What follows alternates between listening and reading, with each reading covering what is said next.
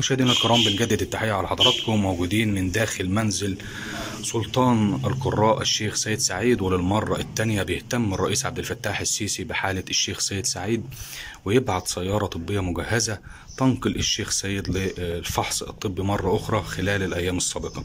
برحب بحضرتك يا شيخ سيد وبقول لك ألف سلامة وكل متابعي اليوم السابع بيبعتوا لحضرتك مليون سلامة على صحتك. ربنا يسلمك ويسلمهم من كل سوء. ربنا يديم عليك الصحة يا رب. احكي لنا بقى يعني المرة الأولى مصر كلها عرفت إن الرئيس عبد الفتاح السيسي مهتم بحالة حضرتك ولكن للمرة الثانية بنتفاجئ إن تصل سيارة طبية مجهزة لنقل الشيخ سيد للفحص الطبي مرة أخرى. احكي لنا التفاصيل بقى. التفاصيل أنا ما أعرفهاش زيك زيك. انما اللي عرفته هو اللي بقى يعني اتكلم مع مصر ومع مصر تبنى هذا الموضوع. في المرتين وكيل وزارة هو اللي كان بيتكلم معايا. يعني بيتكلم معاه على طول الحمد لله والشكر لله ربنا. ربنا يبارك فيه يا رب ويحميه. ربنا يديم عليك الصحة يا رب. آه. إحساسك إيه بقى باهتمام الرئيس عبد الفتاح السيسي بشخصك يعني؟ هو بشخصه مهتم ومتابع دايما للشيخ ده- سيد. دي تكريم من الله. ونعم بالله. أما أما يكون راجل مش فاضي حتى لنفسه وافتكر واحد زي حالاتي غلبان ياخده يوديه المعهد. ده حاجة نعمه ومش مرة واحدة وخلصت. لا. لا ده متابعة دايما. وبعد هيبقى فيه متابعات إن شاء الله يعني. لا. لا ربنا يديم. عليك كويس. قول لي بقى يعني إيه، آه، ما السيارة ال- الإسعاف وصلت هنا عند البيت ولقيت الناس جم قالوا لك إيه أو إيه الحديث اللي دار بينكم؟ ما حدش غير اللي إحنا رايحين معهد مصر الرئيس بقى كذا. بس.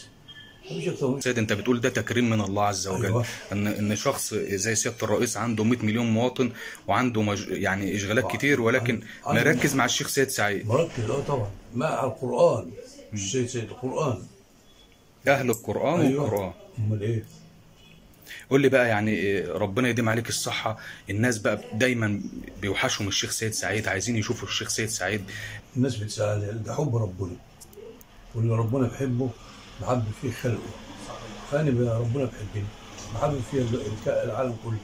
لأن قرأت القرآن للقرآن قرأت القرآن. للقرآن مش لفلوس ولا ولا بغني ولا. بقرأ قرآن اللي يرضي ربنا فربنا رضاني. الحمد لله. وما جايبه حلو الحمد لله والشكر لله. أنا راضي. الحمد لله على كل الحمد كلمني بقى عن مسيرتك. أنت بدأت القرآن تقرأ في المياتم وأنت يمكن أصغر واحد قرأ في المياتم.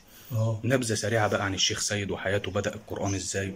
أنا بدأت القرآن هنا في القرية في الكتاب. سن سبع سنين كنت مخلص القرآن. ما شاء الله. و... وكانوا في, ال- في الكتاب ي... ي- يمتحنونا في الأصوات. يعني فطلع طلع تاني فلتة من في ضمن الفلتات. الحمد لله. سنه صغير. آه. آه سنه صغير. سن صغير. ففي اسك- بلد كده جنبنا هنا اسمها اسكندرية الجديدة. كانوا عاملين مولد ان حضرة النبي كده يعني في. الجامع. فجي واحد من هناك قام واخدني ورحت قريت في المولد في المولد. بدون ربع جنيه. دي أول مرة. هو ربع جنيه دي خيمه حاجة كبيرة. خيمه مم. وبعد أسبوع خدوني برضه ادوني 50 قرش. ومشيت العملية على كده. مم. 50 جنيه جنيه ونص اتنين تلاتة. يعني مشيت على كده. الحمد لله. يعني ما كناش مبسوطين يعني. تمام. ثم ربنا كرم وفتحت العملية بقينا من أغنى ناس في البلد. لا يا شيخ سيد إن الربع جنيه والخمسين قرش دول أنت كونت منهم مبلغ واشتريت بيه أرض. أرض آه الفتان كان بتاعهم ب 800 جنيه. زمان. آه. ده كان إمتى في, في ابويا الله يرحمه كنت بشتغل. أجيب 2 جنيه أو 3 جنيه اقوم اعطيهم. هو يكمل. يعمل كده وهو مش حتة ارض يعني الحمد لله والشكر لله ربنا يديم عليك الصحة يا شيخ سيد. قول لي بقى رسالة بقى لجمهورك في مصر والوطن العربي اللي دايما بيس- بي- بيسألوا على الشيخ سيد تحب تقول لهم إيه؟ أقول لهم كل سنة وأنتم طيبين. ويدعي لكم الأيام بخير جميعا. وأنا بخير وراضي بخ- بنعمة ربنا. والمهم الدعوات تكون ماشية لله. ربنا يديك